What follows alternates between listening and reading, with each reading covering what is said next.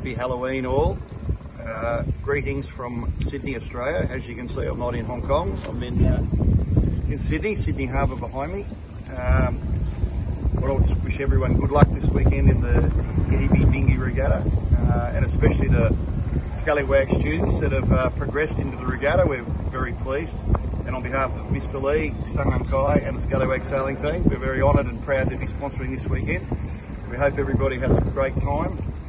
2020 certainly uh, been a difficult year for all of us, um, and I think the team ethos of endure, adapt, and excel probably has never been more applicable to anybody this year. Um, the Scallywag team's still trying to adapt, but uh, good to see you guys are going to get out sailing this year. That's going to be one regatta more than the Scallywag team has done. Um, I wish everybody the best. Um, and on behalf of Sun Hung Kai, Scallywag team, we look forward to supporting you guys more in the future and uh, have a great day.